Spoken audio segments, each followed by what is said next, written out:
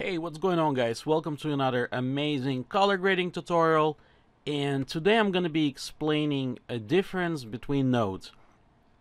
I have a lot of people asking me this question for a couple weeks now asking me um, to explain the difference between parallel node, serial node, and layer node that we can see in DaVinci Resolve. And today I'm going to dedicate this tutorial explaining what each of those nodes does in the timeline. And I'm actually going to compare it in the Photoshop in case uh, some of you guys have the photography experience. That way you can actually compare them side by side and see exactly how DaVinci Resolve is realistically very similar to Photoshop. So let's get started. I have exactly the same image in Photoshop and I'm gonna be switching between. That way you guys can see exactly what each node does Okay, so let's start doing with a serial node. Uh, serial node is very simple. It's a it's a very easy concept. Basically, whatever you do in a serial node, any kind of adjustment.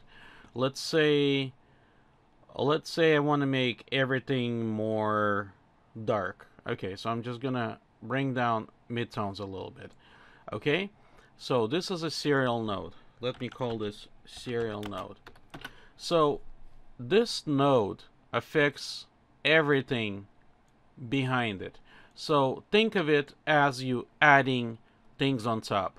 Let me show you how it reflects in the Photoshop.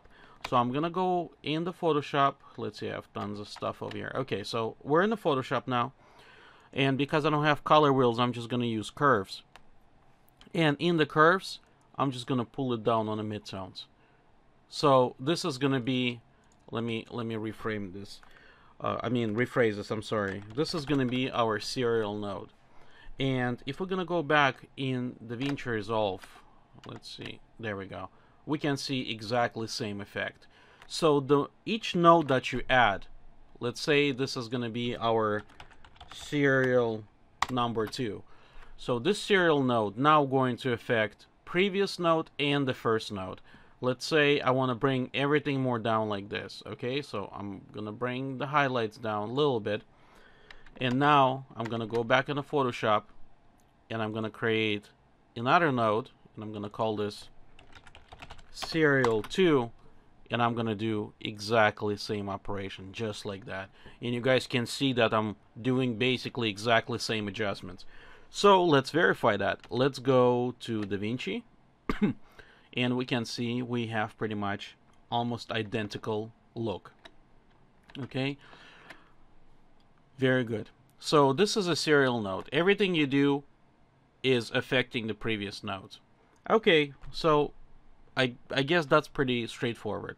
Now let's talk about parallel uh, parallel nodes so in a parallel node let's see let's create node and we're gonna uh, push alt P it creates a parallel node everything you do in the parallel nodes is affecting everything simultaneously.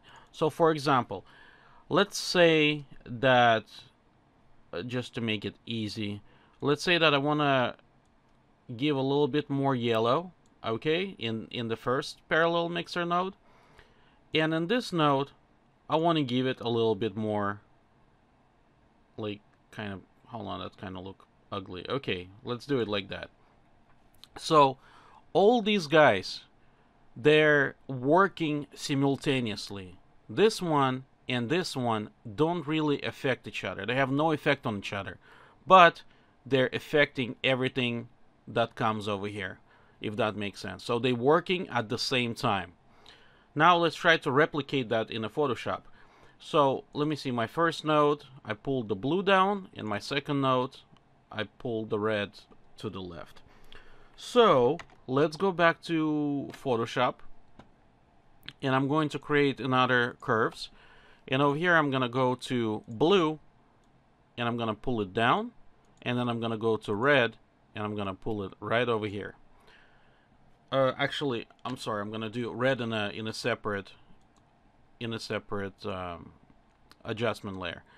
So I'm gonna put red over here. Okay and now, if I'm gonna select both of them and I'm gonna put them in the folder, so this is gonna be our parallel uh, mixer. So this is how parallel works. Okay, both of them affecting whatever comes in front. I'm, uh, I mean, yeah, in, in in the front of it, as well as obviously in the back.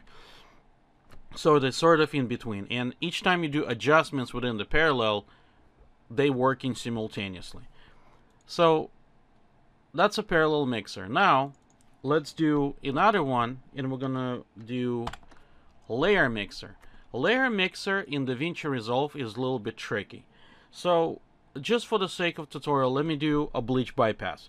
So I'm gonna desaturate it and we're gonna do a mixing mode. Let's go for overlay. Okay? Now, in Photoshop, the layer operation is slightly different. If I would be doing this in Photoshop, this would be like this, the order. And let's go in the Photoshop right now. And I'm going to create, let's see, I'm going to, to have one and two. Okay, so this is gonna be our layer. So let's pretend this is our top layer. And this is our bottom. Ah hold on I can anyways bottom there we go. Got confused with the buttons.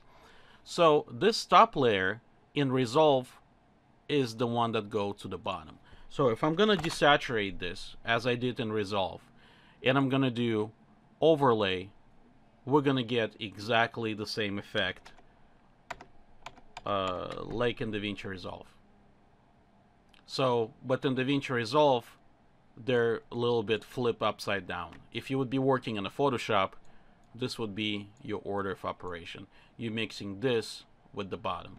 I don't know why DaVinci Resolve decided to do it this way, but basically that's what it is. So I really hope this little tutorial got a little bit clear for you guys, the order of operation. And if not, uh, please feel free to leave a comment and I'm gonna try to explain more in, in I guess in more details if you don't understand. But um, anyways, I decided to do this little tutorial between the master series because in my master series I'm gonna be actually using all of those techniques. So I figured I'm gonna give it a little bit more background explanation. That way, when you guys watch my master series, you sort of know it, what each node does. So Thank you guys for watching. Make sure to subscribe, and I'll see you soon in a couple days. Take care.